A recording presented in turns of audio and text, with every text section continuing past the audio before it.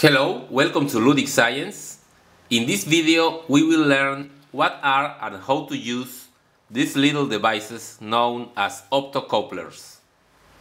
The optocoupler can be compared to a transformer. It has an input and an output.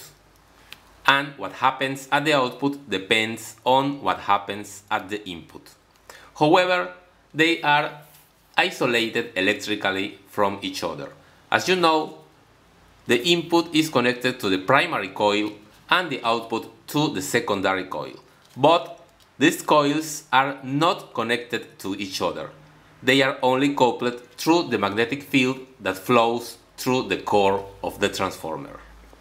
This provides security because our circuit that is connected to the secondary is electrically isolated from the current of the mains which can be dangerous. This video is sponsored by JLCPCB. GLC PCB is a company that makes excellent quality PCBs at an unbeatable price.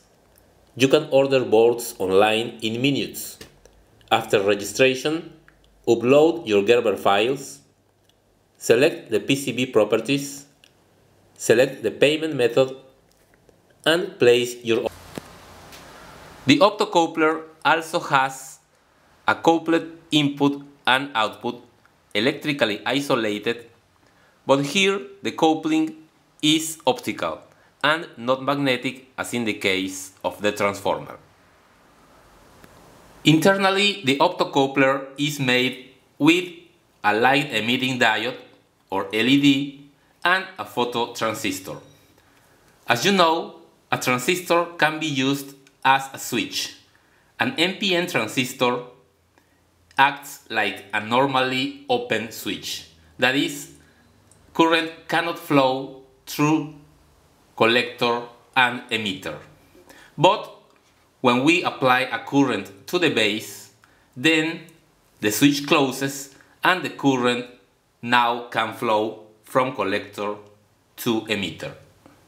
The phototransistor is a special type of transistor where you do not need to apply a current directly to the base. The base is open and is sensitive to light.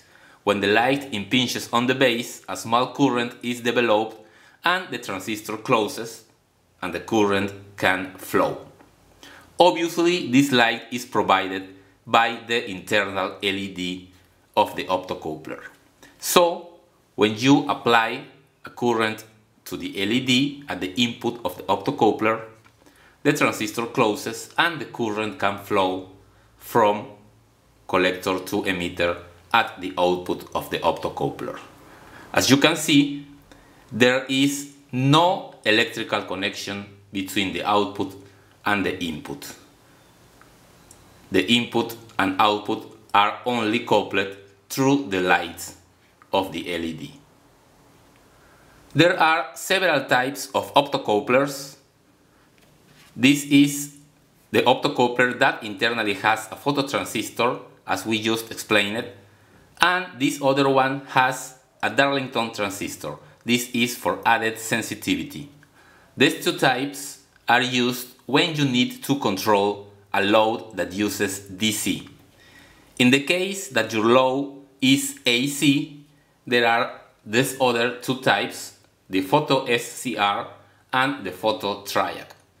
As the name implies, they internally have a light sensitive SCR and a light sensitive triac. Here's a very simple circuit to show how the optocoupler works. I am using a 9 volt battery to power the optocoupler and a power supply, variable power supply for our load that will be an LED. And notice that these are completely separated circuits. So these grounds are not the same. This side uses a 9 volt battery and a power supply at the output side. And the optocoupler that I am using is a very common one, the PC817. And here's the circuit on breadboard.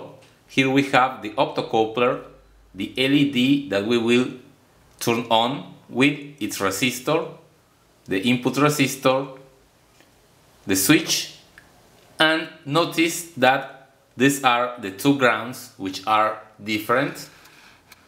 One is the negative of the battery and the other is the negative of the power supply. Now, when we push the switch, the LED turns on.